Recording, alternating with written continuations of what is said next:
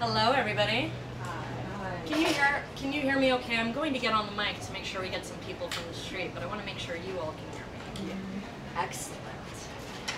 Thank you so much, Joan, for your introduction, and thank you so much to the Writers Guild of Bloomington for having me here. Um, as Joan said, I'm an Indianapolis-based poet. Thank you.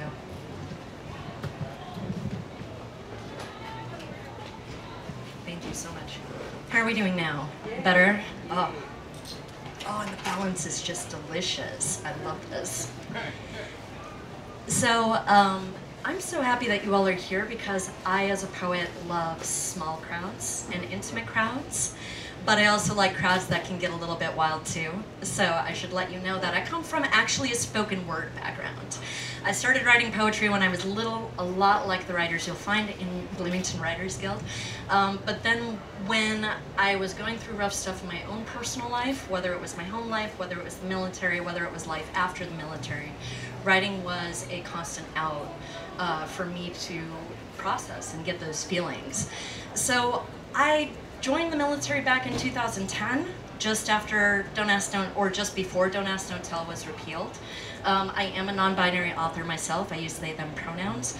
And then also served as a drill sergeant during the Trump administration era switchover. It was a very interesting time. So some of the poems that I have for you today hopefully will give you a little bit of insight into military life, maybe some stories that we don't commonly hear day to day. But I would actually like to start you with a poem that pulled me from the military into spoken word poetry outside of my military life. And it's called Walls. I'm on the phone with my mother for my normally bi normal bi-monthly check-in. Since last we spoke, life has completely upended, grabbed me by the ankles, and shaken the willpower loose from my pockets. Hopes rattle and roll down the sidewalk for all the watchful world to judge, and for now, she is the human embodiment of unsolicited advice. What you need to do is this. What you have to do is this. No, no, no, no, not that way, don't. And I tell her to slow her roll. I'm going my own pace. She says her recommendations are good ones, and talking to me is, admittedly, like talking to a wall. But in my room, my walls are white and plain and tall, not because I am white or plain or tall, but because the base paint is a top coat of potential I've never committed to changing. My walls are blank, slightly scuffed, only by Bob Ross brushes, happy little mistakes of some construction crew. If anyone else came into my room, it would be whatever they made it. My walls do not call me names using words I've never heard. My walls do not try to make sense of things for me, twist definitions to fit their expectations, lean ladders to the pinnacle of someone else's potentials. My walls do not judge if I go to church or how I worship. My walls do not judge if I wear a wedding ring for a fee, male, or a transitioning partner. My walls do not judge if I grew up on the wrong side of tracks or in luxury's lap. My walls do not care how pristinely the poker chips are stacked against those who have more life, or light, or reason. Those who felt opportunity, pressure cooking privileged experiences because my bedroom walls, they don't close in. Even when the open air is claustrophobic, they hold their space. My walls do not erase my experiences. They listen when I come to them. The quietest room in the entire world is negative 9.4 decibels in Minnesota. Of course it's in Minnesota. It absorbs all of the noise from outside and blocks out the inside. It's so quiet. You can hear your heart beating, your man heart, your woman heart, your genderqueer heart, your heart of every color, your pagan or Abrahamic heart. It's so quiet you can hear your lungs filling with the same air that existed everywhere else in the world at some point in time. But if you stay in that room too long, they tell you you might go crazy. So my walls have a door for whenever I'm ready. When the space has been held, I hold head high as I leave in the direction of conviction and intention. My mom, she says her recommendations are the good ones. And talking to me is like talking to a wall. I only hope that I can be a wall. Standing firm, listening, protecting, holding space. Thank you.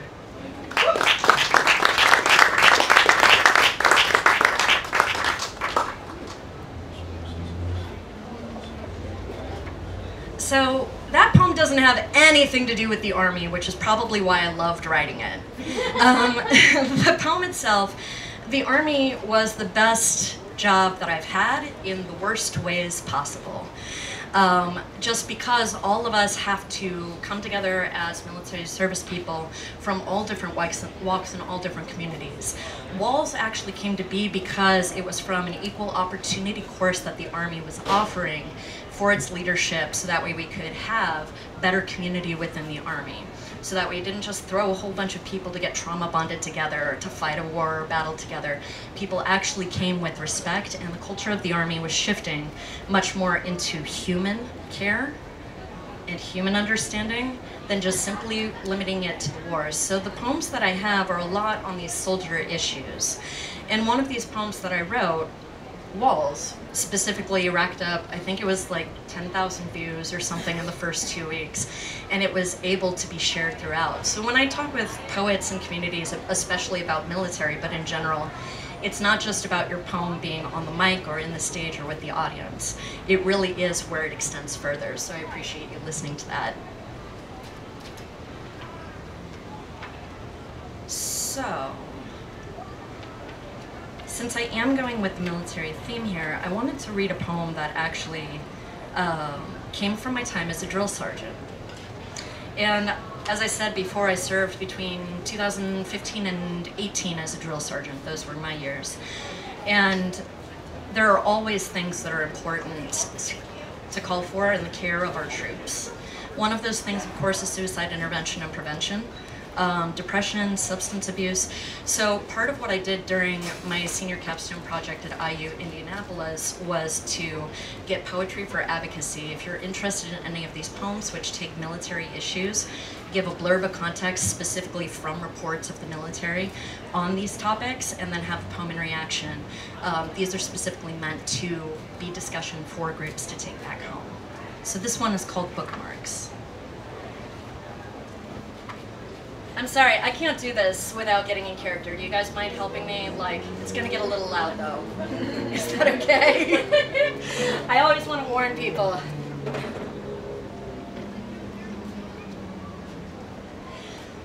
In the early morning rain, with my weapon in my hand, I'm coming home today from this hard board to my right. Oh, that you would not be mad with me from day to day. I become a different person than I was when I went away. My friends stopped giving me bookmarks as gifts. My bookshelf is stacked three deep with dozens of well-intended starts and few follow-throughs or finishes. I let my life interrupt someone else's narrative, stick bookmarks in them, tassels draped along spine straight at attention, waiting for a graduation switchover that never comes. Just stays. Private Sanabria stayed right as he wrote in the end of my cycle yearbook, lucky to have you as my drill sergeant. You're a big inspiration. Up until that spot, narrative plot culminated in a snapshot at the end of the protagonist's life in which he and 170 trainees learned how to shoot, fight, and save lives. Like every cycle, I was proud I'd have even a small part in teaching them to stand straight at attention! Left face, right face, forward march into the future. Bookmark. World War II, common books communicated uncommon code spies, referenced words in previously agreed upon passages to say, need help now. Attack is coming at darkest hour foretelling nearly imperceptible events right under public noses. Spies couldn't bookmark. There was only a small window of time codes could be cracked and still apply. Private Sanabria messaged me last year, asking if I remembered him. I did. And since I loved making marksmen out of those who'd never held a weapon, he knew that I was going to be as excited as he that he got his conceal and carry. Bookmark. A grimoire is a book imbued with the essence of who the author was, trying to make sense of his life, of his unique magic, what he hoped to overcome, what he hoped to become. Private Sanabria, if I could tell you anything, it's that soldiers don't shoot for re- least restrictive means. We shoot to eliminate the threat. But you didn't listen when I said friendly fire is a no-go here. Your carefully crafted crucible shouldn't have been bookmarked, shouldn't have been abandoned, shouldn't have been disregarded for others as too much to take in. But you can't put a bookmark in hope forever. What happens when there's a book you've sworn you had the strength to come back to, and you forget where you were in the story, forget how you got there? I wish I taught him how to fight, how not to fire his weapon, how to stay steady position, aiming, breathing, action, and gazing between his trigger finger and his skull. Bookmark. Bibliomancy is the ancient practice of cracking codes to the future, letting the book fall open to a random passage and with eyes closed, picking out destiny. I couldn't bookmark his answers, but they were on every single page. Thank you.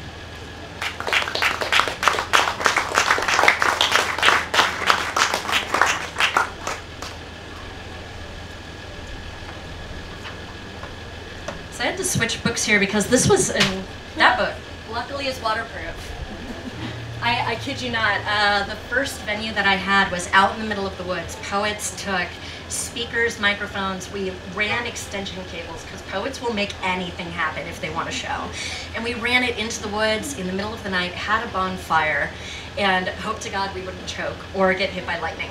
And that was spoken wood. So I specifically made this with a waterproof cover for that venue because poets also look ahead a little bit every once in a while. But that project was kind of as I was coming into poetry. I hadn't really found community. I really hadn't found, I found a couple of other poets to connect with.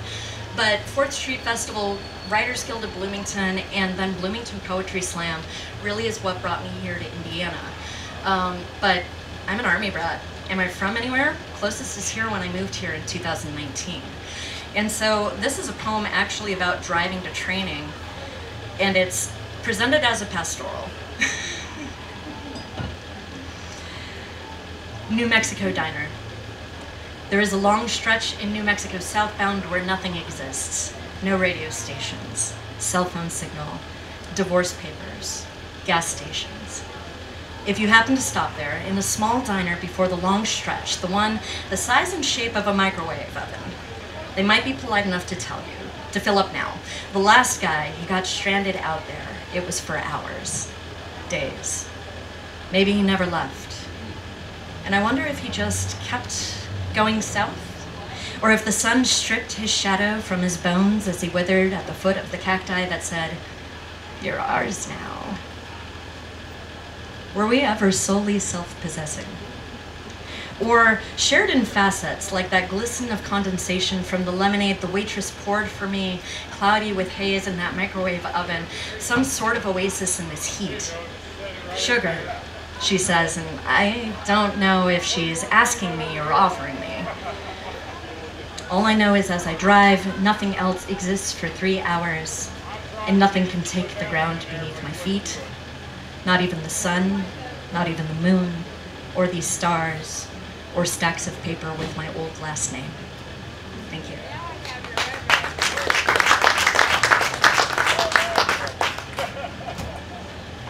So another theme that I read about, and I've got, uh, how are we on time, Joan? I'm sorry, normally I bring, beautiful, excellent, yes. Poets think of everything. beautiful, candy. So part of my journey through the military, I got out of the military in 2009, uh, 19 on disability. I had during my time in drill sergeant, I was running, and all of a sudden I felt my hip grinding, like those those brakes on your car, and it would be fine for downhill a little bit, and then it would we'd go uphill, and it would grind and grind and grind, which is great unless you're doing a re relay and carrying the American flag. And that's not a good time for that to do that, because then you get referred to the hospital. It turns out that this was really good because this was a follow-up to a misdiagnosis that had been happening since 2010 and it was a bad hip surgery that got me out. I went from 18 hours a day of rucking and running and marching and yelling, and you're not the only, like, the soldiers aren't the only ones doing it. If you're a drill sergeant, you're running after them too. And so I couldn't do that. I went from 18 hours to nothing. And I'm a mover and a shaker, typically.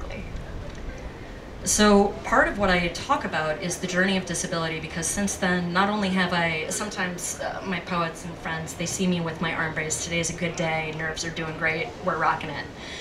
Um, but other times, like I still have my hearing aids, I still have PTSD, I still have anxiety, which is why I like little groups instead of big wild groups typically. We can get there, we can get wild, man, we can.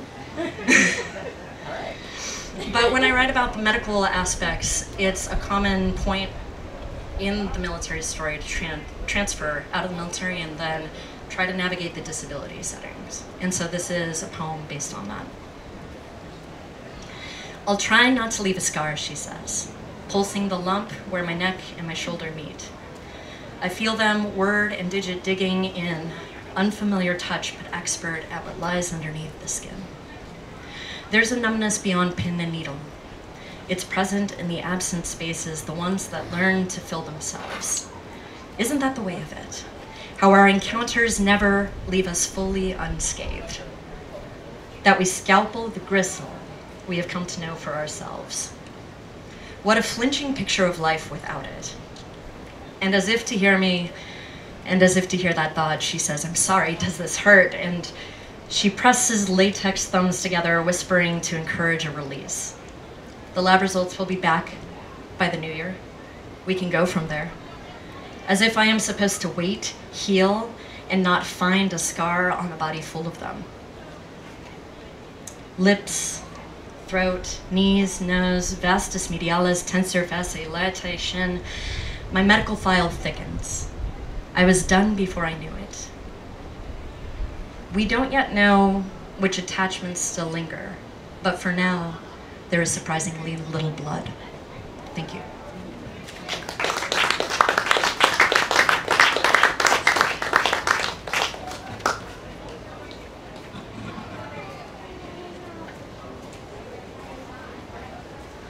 So poetry also gives us some really amazing opportunities to find community. I, have done a little bit of the military and stuff, but I would be remiss to say that when I do military poetry, it's only military poetry. Um, because whoever serves, serves in the full capacity of whoever they are. So for me, I brought my poetry and art, and honestly, I kind of hit it. Because I'm like, who in the army wants to hear poetry? Who in the army even writes poetry? Who in the army would travel for poetry? The person who travels for poetry is the person who doesn't want to go to end of day formation because there's a poetry show in North Carolina at that post, by the way. Uh, definitely, definitely almost got caught by curfew a couple of times. But that's that for me was the major show that poetry was really the calling. The army was a means to an end, and the army is a way that we can talk about different issues. Um, I'm going to do one last army poem. And this actually kind of crosses over into my space afterwards. Because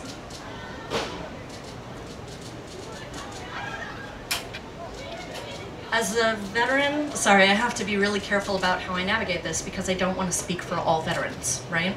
That's one of the important things with poetry and the mic. I'm speaking for my experiences just to give an additional insight.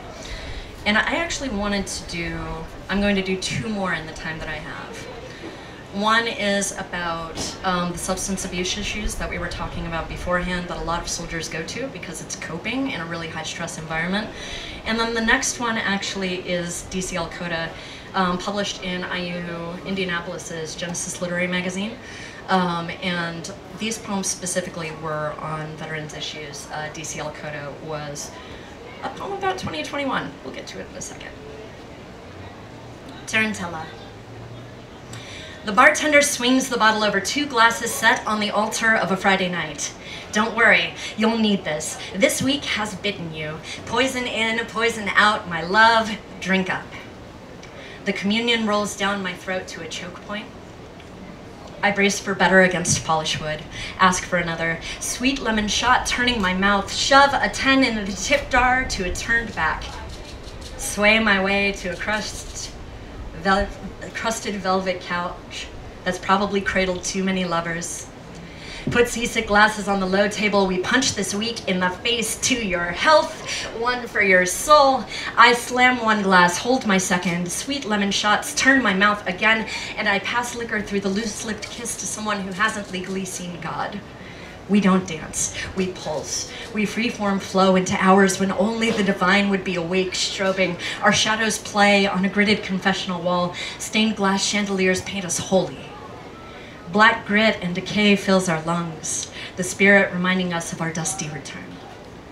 Driving bass, driving bass smothers creaking floorboards, still saturated with Tampa tobacco, hand rolled through the years. Into the Gulf, salt and sweat, sour carpets, stained shame of a thousand weekend escapes. And we pulse. Hear our prayer. Hear our prayer. Hear our prayer. Have mercy on us. Thank you.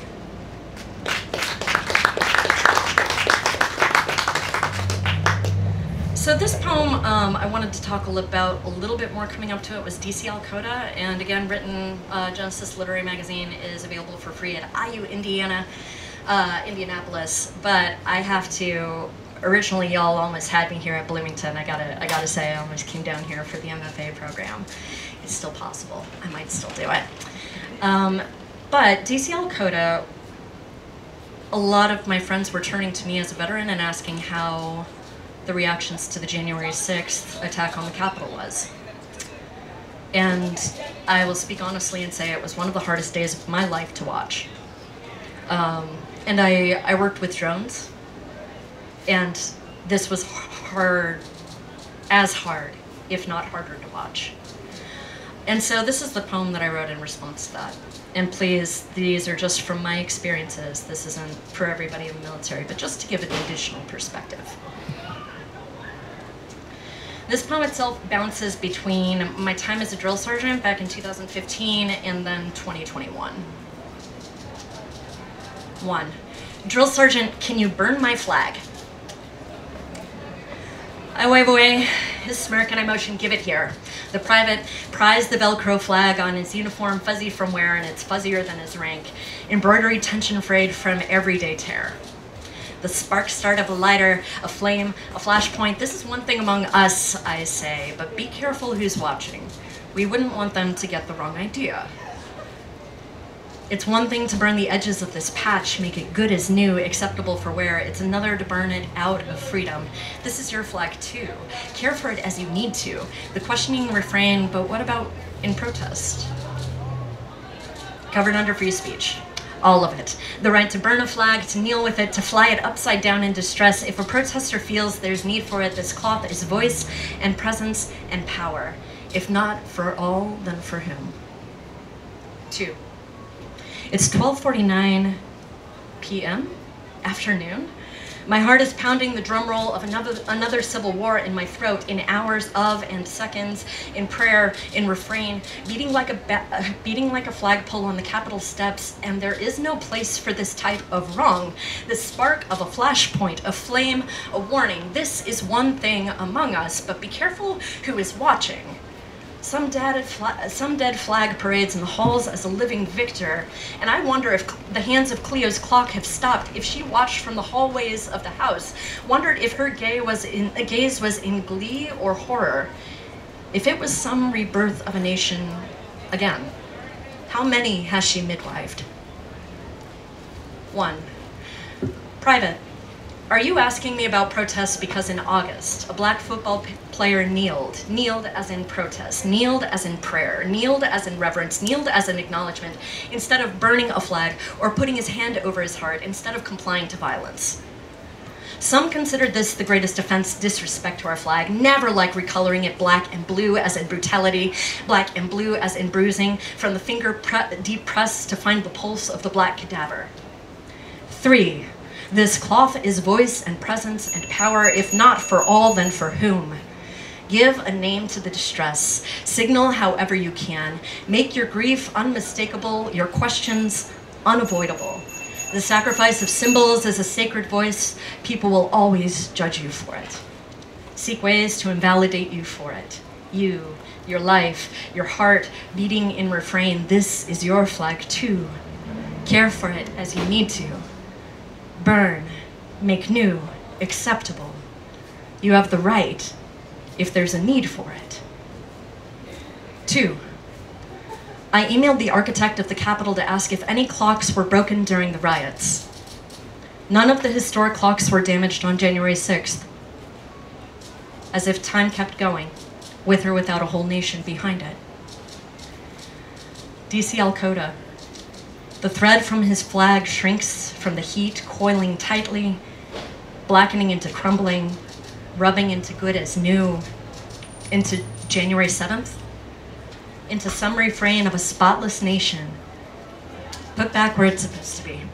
No one ever the wiser. Thank you.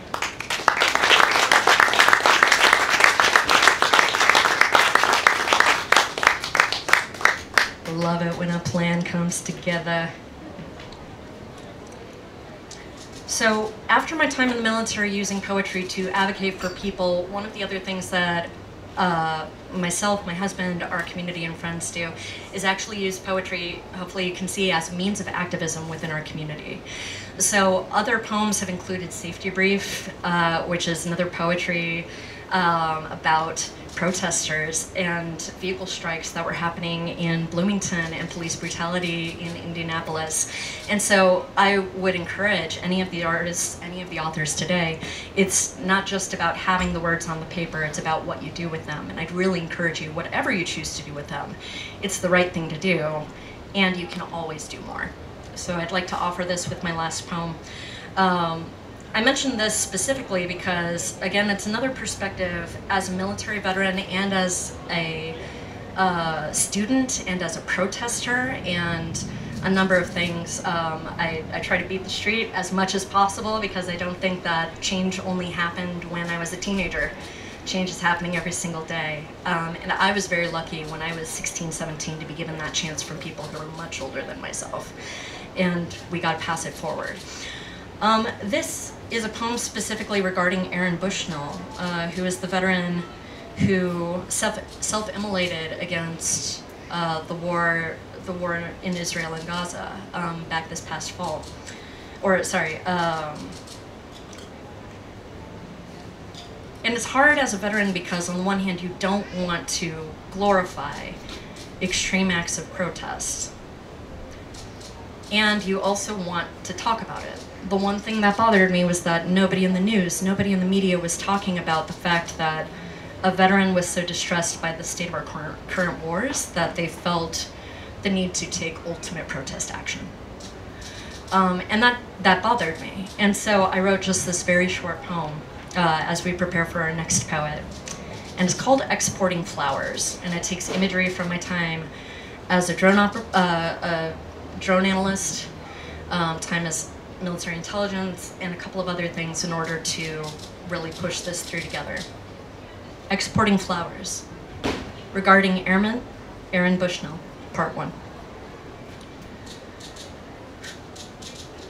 The bloom at your feet, and our doorstep spreads poppy field. Unfolds rash and back blast, braiding flesh with hush mingled skin snap, rolling into fighter dreams scream and jet rush, blossom carpet bomb, scorching each earthen thread. The flush prickle and sweep low crawls along the tender limbs. Among smoke song of crackle-lipped choir, voiceless and still begging, how much more charcoal do you need? Is my body not enough to satisfy the fire? Thank you so much for having me today. I really appreciate you. Please come see us over at the Writers Guild in Bloomington. We'd be happy to type up a poem for you. Thank you so much and have a great day.